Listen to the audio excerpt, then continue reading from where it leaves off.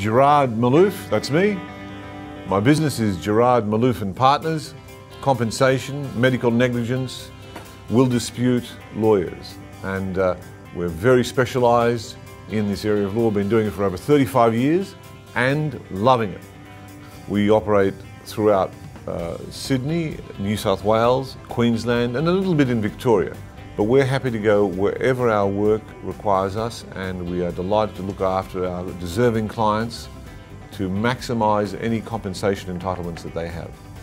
What gets our business and me going every day is a love for our client. Any member of staff that comes to our business, I say, will you love our clients? You have to love them. And that's what makes the difference. And that gets me going because we will be successful because we will have a wonderful relationship. We know what we can achieve for our clients. We know the expertise that we have and we want our clients to believe in us. That gets me going. My family came to Australia, Lebanese Christian, 1887. They came out here, they had nothing. I've been driven all my life because my father and his three brothers were born in the Gulf of Carpentaria. They were uh, up in the bush, a long way away, but they all became doctors. That same drive that got them from up in the Gulf of Carpentaria, migrant family to become doctors, has been imbued in me. I want to achieve something great, and I'm going to do it.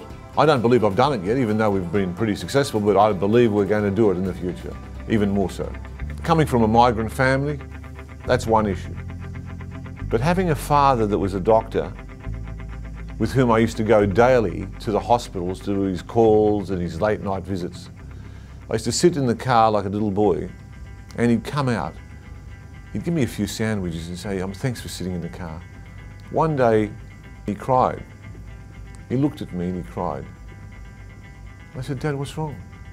He says, all I ever want for you is that you use your ability to the best that you can possibly do. I'll never forget that moment. I'll never forget that moment because I was probably eight years old.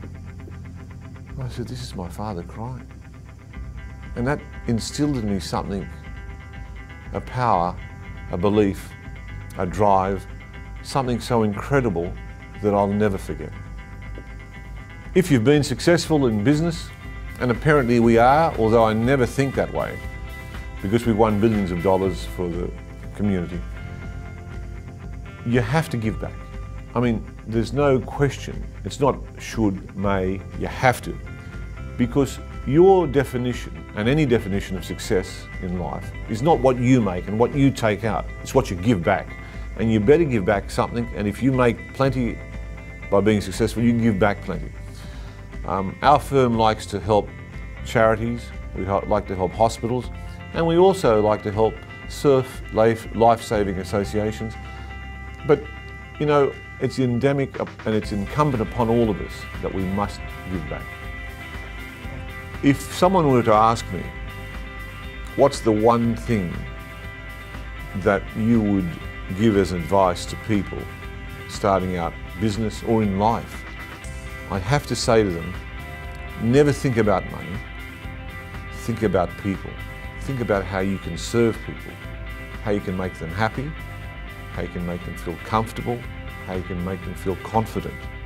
Because whatever business you're in, if you can achieve those three things, even if you're mediocre at what you do, you're going to make a great business. That's what it's all about.